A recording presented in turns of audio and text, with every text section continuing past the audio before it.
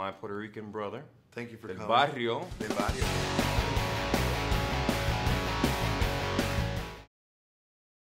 My head. Your name is Bill Pope. You're an intelligence officer in the CIA. I need you to remember. Remember what? Jan Stroop, Dutch programmer. He can fire missiles anytime, anywhere. Where did you put him? That is all we need to know. I don't remember nothing.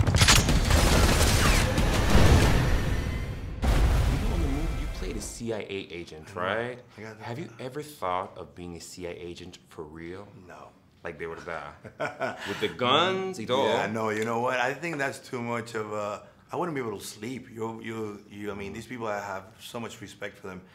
Um, you know, they live, they live double lives. They, they, they can't even tell their family they're part of this organization because they're putting them on, on a thread, on threat. You know, and um, having to live overlooking your shoulder.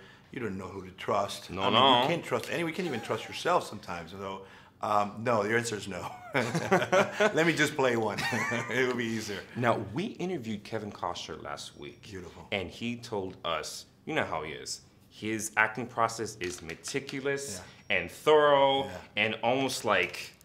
Yes. What was it like? What you learned from him, from this like acting powerhouse? He is, first of all, um, when I got the call of being part of this uh, cast, I was just floored. You know, I mean, these are all Academy Award winners or nominees. Um, and again, Costner is somebody I grew up watching, just like Tommy Lee Jones and, and Gary Oldman. These are people that are my peers and I respect.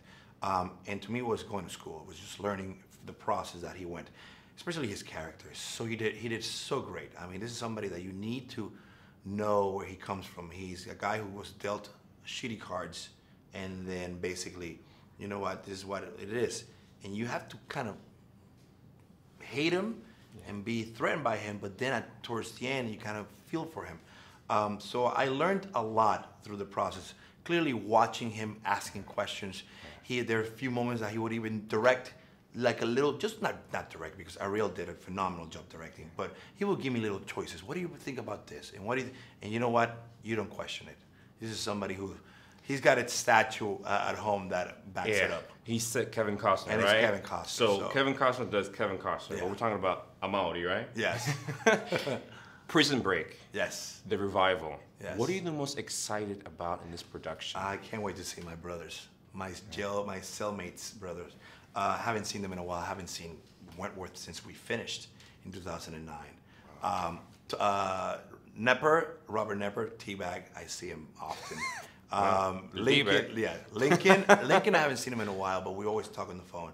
I haven't seen Sarah, so I'm very excited of seeing. This is a family. This is people who I grew up. This was my breakout. You know, uh, this was what put me on the map, and I'm very grateful and, and thankful. So the fact that this show has taken a, a life of its own. I mean, 10 years later, we're still talking about it like it just came out. Yeah. It's fascinating, and I'm very blessed to be part of it. And the fact that Fox decided to, you know what, let's give it a chance. Let's give it another season just because the fans are wanting it. Um, I, I'm very excited. And I can't wait for you guys to see it.